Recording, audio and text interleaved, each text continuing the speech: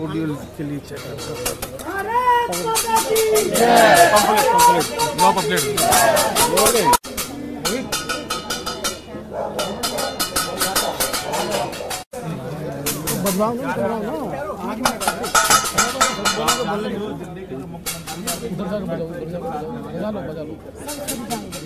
देखो ऐसे काम ना करें हमारे बहुत अच्छे हैं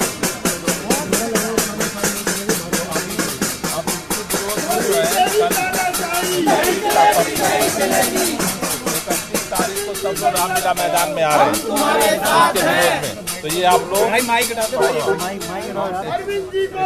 आपको भी आना है। इनके साथ अल्लाह हमारे बस में साथ में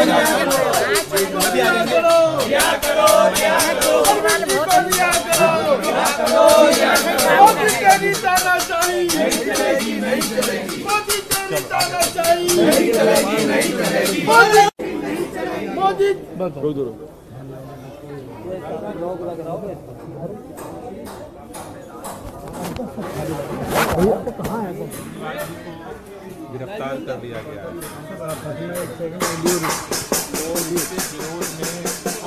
पूरे दिल्ली के लोग संडे को 10 बजे रामलीला मैदान पहुँच रहे हैं। तो वो इन्विटेशन हम आपको भी देने आए हैं। कि आप लोग भी, सब लोग विधायक जी के साथ। ये जो है, आप लोग भी जो है, सब लोग आएँगे। लगा को साथ में आना है हाँ? ठीक है? ठीक इनके साथ इकट्ठे होकर के आना। सारे मोहल्ले वाले ठीक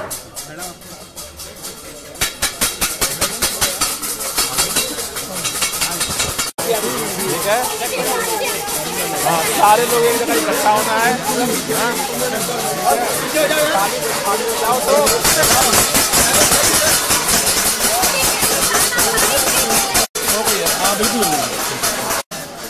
ये अरविंद जी की जो गिरफ्तारी हुई है, उसके विरोध में इकतीस तारीख को रामलीला मैदान में महारे तो आप सब लोगों को पूरे टीम के साथ आपको इकट्ठा होकर के आना।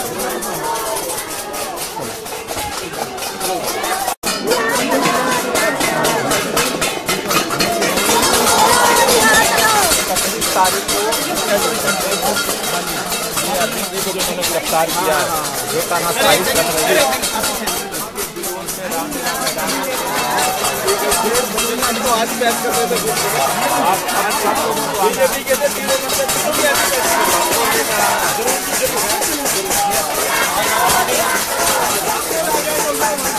साइड हो जाइए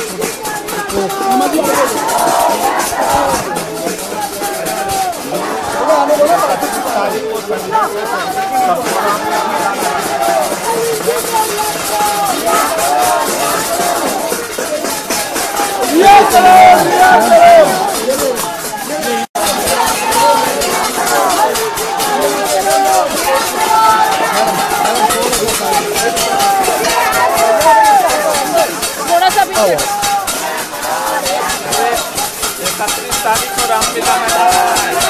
सारे मोहल्ले के लोग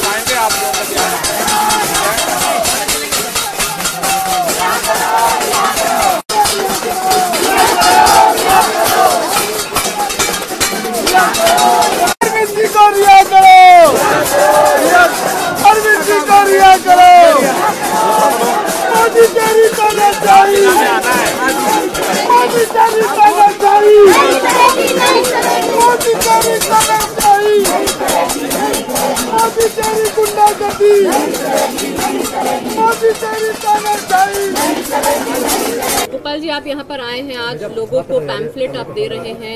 आप क्या कुछ जानकारी आप इस पैम्फलेट के ज़रिए देना चाहते हैं? देखिए, जिस तरह से देश के प्रधानमंत्री मोदी जी ने तानाशाही पूर्ण रवैया अपनाते हुए दिल्ली के चुने हुए मुख्यमंत्री को गिरफ़्तार किया है, पूरे दिल्ली के अंदर इसके खिलाफ आक्रोश है। पूरे देश के अंदर इसका विरोध हो रहा है। पूरे दुनिया के अंदर इस पर सवाल उठ रहे हैं कि आखिर इतने बड़े लोकतंत्र के अंदर एक चुने हुए मुख्यमंत्री को बिना किसी सबूत को गिरफ़्तार करके जेल में बंद कर दिया जा रहा है। इसके विरोध में 31 तारीख को 10 बजे पूरी दिल्ली रामलीला मैदान पहुँच रही है, जिसमें इंडिया गठबंधन के पूरे देश के जो शीर्ष नेता हैं वो भी इस तानाशाही के विरोध में रामलीला मैदान पहुँच रहे हैं। आज से पूरे दिल्ली में हम लोग ये आमंत्रण पत्र घर घर जा कर के लोगों को बांट रहे हैं और पूरे दिल्ली से निवेदन कर रहे हैं कि जो लोग इस बात में विश्वास करते हैं कि दिल्ली के मुख्यमंत्री अरविंद केजरीवाल जी ने दिल्ली के लोगों के लिए काम किया है, जो लोग इस बात से विश्वास करते हैं कि दो साल में बिना हज़ारों जगह छापे मारने के बावजूद बिना किसी सबूत के केवल तानाशाही पूर्ण रवैया अपनाते हुए बदले की भावना से राजनीति से प्रेरित होकर के अरविंद केजरीवाल जी को गिरफ़्तार किया गया है। उन सब लोगों को आह्वान कर रहे हैं कि वो लोकतांत्रिक तरीके से अपनी आवाज़ उठाने के लिए 31 मार्च को 10 बजे रामलीला मैदान पहुँचे। यही अपील आज हमने यहाँ पर करोल बाग विधानसभा में हमारे माननीय विधायक जी हैं, पार्षद जी हैं, इनके साथ किया है। और इसी तरह से आज पूरे दिल्ली के अंदर ये अभियान शुरू हुआ है और 31 तारीख को फिर हर मोहल्ले से लोग रामलीला मैदान पहुँचेंगे।